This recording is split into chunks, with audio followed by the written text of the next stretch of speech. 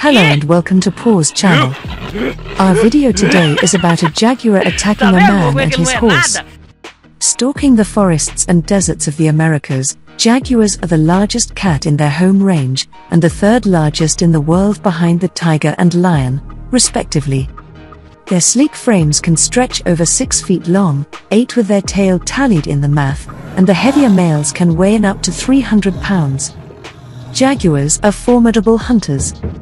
They stalk or ambush their prey and then drag their kill to cover. They are not very fussy eaters and will eat both large animals, such as peccaries and tapirs, and smaller ones, such as birds and fish. They will even eat snakes, turtles, porcupines, and caiman.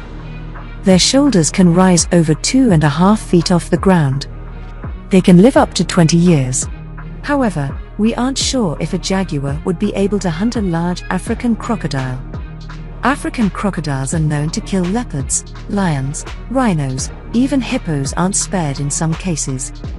Caimans, on the other hand, are smaller than crocodiles as a whole, with a U shaped snout compared to the V shaped snout of a crocodile, and are easy to hunt for a jaguar. Jaguar attacks on humans rarely occur in the wild. When they do, they are often fatal. Jaguar attacks on humans are rare, and they do not consider humans to be prey they are usually more than happy to simply avoid them.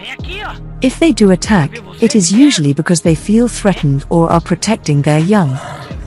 In most circumstances, they will not eat human meat. Yet starvation can be a powerful motivator, so in the event that a jaguar is exceptionally hungry, all bets are off.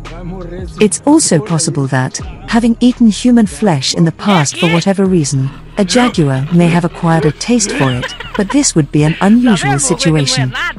Conflicts between humans and big cats have been known for centuries throughout the world, but have intensified in recent decades. Recently, attacks by jaguars on humans in Brazil have been brought to the forefront through exposure in the press and because of the severity of the attacks. Recently, quite a few attacks by jaguars were reported in provoked and predatory situations. The attacks demonstrate a real risk of accidents from jaguars in certain regions, such as the Pantanal and the Amazon. This man was lucky that the jaguar lost its interest in him and his horse soon enough. If the jaguar was slightly more serious about attacking, then it could have been fatal for both man and his horse. Thanks for watching and please don't forget to like, comment and share.